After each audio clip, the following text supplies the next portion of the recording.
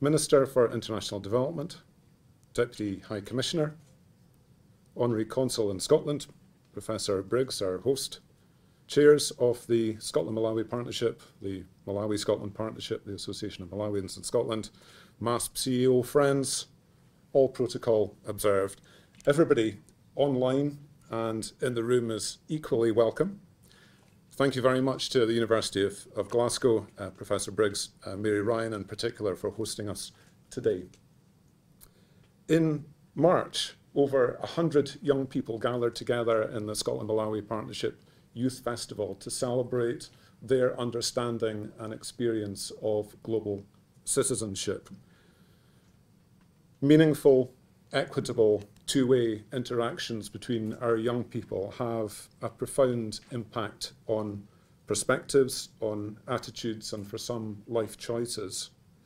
And I think we've uh, a role as perhaps not so young people in encouraging and preparing and stimulating uh, the asking of questions uh, amongst young people towards achieving respectful, dignified, two way learning opportunities. Our theme today is friendship and global citizenship.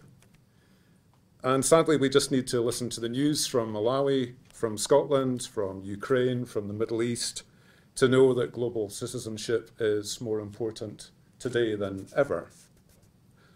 But let's take heart from the civic society effort between Scotland and Malawi, which is inspiring and is uplifting with friendship at its core, benefiting both nations.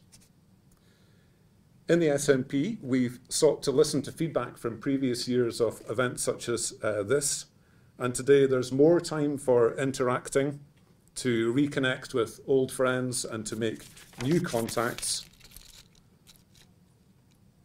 In the past year, 37 Scotland Malawi Partnership and partnered events were attended by around 2,500 people in Scotland and Malawi, with 96% saying that coming together strengthened their Scotland Malawi link, and that's really what we're about as a facilitating network. The less I speak, the more time there is to listen and discuss. So please just let me express my great thanks to my colleagues and the staff and the board uh, of the Scotland Malawi Partnership and the Malawi Scotland Partnership for their great efforts to the Scottish Government for uh, funding us uh, and to you, inspiring members between Scotland and Malawi. I look forward to speaking uh, more with you uh, later today, and I wish everybody a, a really stimulating, encouraging, and positive day.